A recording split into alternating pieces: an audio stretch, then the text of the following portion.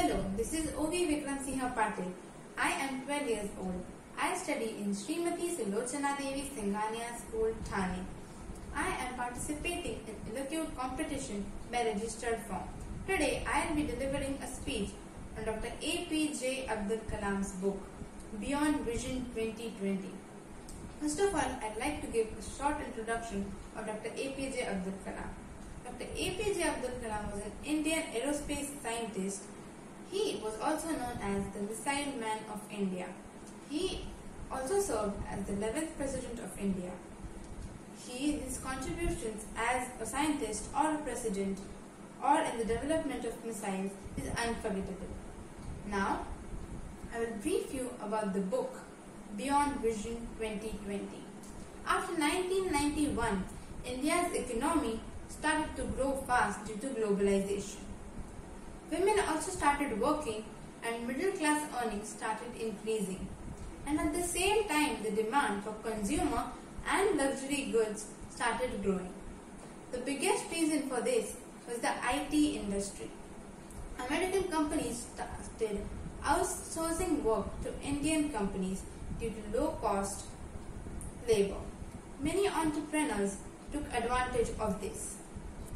Along with this, the government also gave many incentives for the growth of IT and many private colleges provided HR for the IT industry.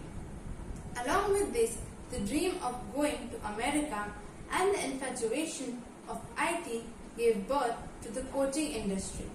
The result of all this was that the GDP numbers started growing, but the growth was unbalanced. Can become a superpower on the strength of one sector. To make India a superpower, we need development of every sector, i.e., agriculture, services, manufacturing, and mining.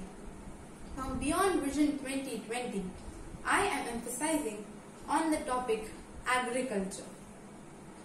India is today a major exporter of rice, wheat, and sugar in the world.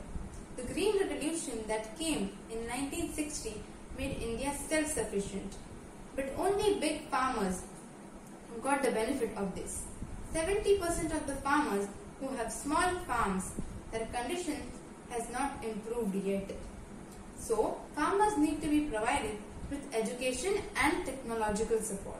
60% of India's agricultural land is dependent on rain.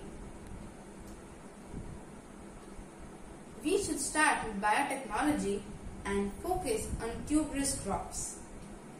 We should also start building a farmer cooperative society and also we should add GM crops. Ancient India was powerful in science, maths, Ayurveda, yoga, etc. and was the number one in the world. We have to make India number one in the world again with Dr. Kalam's vision which makes the India's future bright. Thank you.